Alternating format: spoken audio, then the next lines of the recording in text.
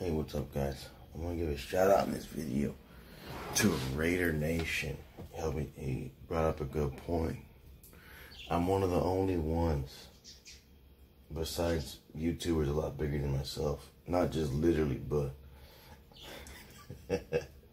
but like the channel numbers.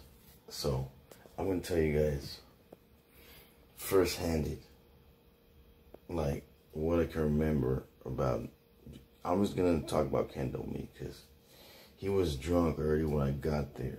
The VIP CraveCon party. Only the VIP people and the big uh, YouTubers were invited to the after party of CraveCon 2016. Galveston, Texas. And he was already drunk. Like, so I got there, they didn't allow recording. I was trying to record it. I think I think I got like a few seconds of it. They're like, no recording. Not recording after party, you know why? Because they were all drunk off their ass, especially Ken Domik. Ah, they were laughing like I thought it was like the most boring, stupid shit ever. The after party was just. I just felt like shitty energy all over the place.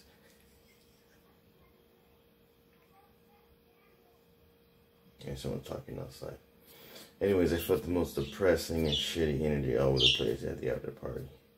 And Ken Domik was drunk off his ass, you know, belligerent, yelling at uh, Boogie 88. And I forget what I forget really what they were saying. They, I remember them saying specifically, "I can't be recording the after party." If you look at my video, it might be on there a little bit of it, but it was garbage, man, for real.